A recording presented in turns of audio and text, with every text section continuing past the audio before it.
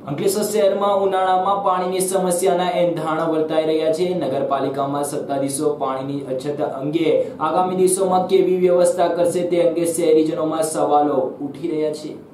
ઉનાળાના સમયમાં અંકલેશ્વર શહેરમાં પાણીની રામાયણ સર્જાય છે. દર વખતે ઉકાઈ જમણા કાંઠાના નહેરના પાણી પુરવઠો અનિયમિત રહેતા શહેરમાં આવેલા તળાવો અધૂરા ભરાય છે, જેને પગલે નગરપાલિકા દ્વારા બોરિંગના પર નિર્ભર રહેવું પડે છે. આમ પણ ભરૂચ શહેર અને અંકલેશ્વર શહેર એ નર્મદા નદીને કિનારે વસેલું શહેર છે. છતાં પણ પાણીની જરૂરિયાતને પહોંચી વળવા માટે તેઓ તાપી નદી પર નિર્ભર રહેવું પડશે, એટલે કે તાપી નદીની ઉકાઈ જલ યોજના પર નિર્ભર રહેવું પડે છે. અને ફરીવાર અંકલેશ્વરમાં જળ સંકટ સર્જાવાના એંધાણ વર્તાઈ રહ્યા છે. ઉકાઈ જમણા નહેર મારફત આવતા પાણીની જલારામ મંદિર નજીક આવેલા તળાવમાં ભરવામાં આવે છે. તળાવમાંથી શહેરને પાણી પહોંચાડવામાં છે, પરંતુ ચાલુ વર્ષે ઓછો વરસાદ અને સમારકામના કારણે નહેરમાં વારંવાર પાણી પુરવઠો બંધ રહેતા હોવાથી તળાવ જરૂરિયાત મુજબ પાણી ભરાયું નથી. જો બાવીસ માર્ચ સુધી તે કેનાલ, ઉકાઈ કેનાલનું પાણી આવશે અને જો ઉનાળામાં સમયમાં પાણી પૂરતું ન હોવાથી નગરપાલિકા બાર બોર ઉપર નિર્ભર રહેશે. બોર મારફતે શહેરીજનોને પાણી પહોંચાડવાની ફરજ પડશે. ત્યારે આગામી બે મહિનામાં અંકલેશ્વરમાં પાણીની રામાયણ સર્જાશે એમાં કોઈ બે મત નથી. આમ અંકલેશ્વર શહેર પણ હવે પાણીની તંગી તરફ વધી રહ્યું છે.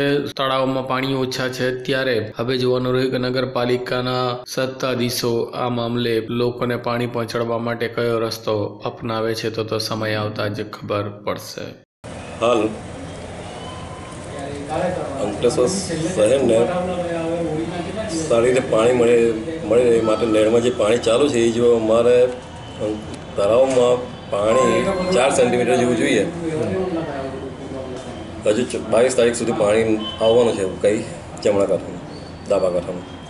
એ પાણી, એ જો પાણી ચાલુ રહે ને અમને દરરોજનું જો એટલું મળતું રહે પાણી, તો ચાર મીટરની ઉપર જો લગભગ ભરાય રહે પાણી, તો તળાવ ચાર મીટર સુધી ભરાઈ જાય. તો અંકલેશ્વર શહેરને પાણીની કોઈ શોર્ટેજ પડ્યું લાગતું નથી એમ. ને આપણા શહેરમાં પાણી મળી રહે માટે બાવીસ બોર તો ચાલુ જ છે. બાવીસ બોરના પાણી પણ મળી જશે એટલે ઉનાળાના સમયમાં કોઈ પાણીની ખેંચ પડે એવું લાગતું નથી. તળાવ જો ભરાઈ રહ્યું અંકલ, શહેર જો પ્રજાને હું નમ્ર વિનંતી કરું છું કે આવનાર દિવસોમાં પાણીની થોડીક ખેંચ તો રહેશે જ એ માટે આપણે પાણીને સાચવીને વાપરીએ. જે રોડ પર આપણે રોડ કપડાં ધોતા હોય ધોતા હોય, પાણીનો વેસ્ટ બગાડ કરતા એ ઓછો કરીએ.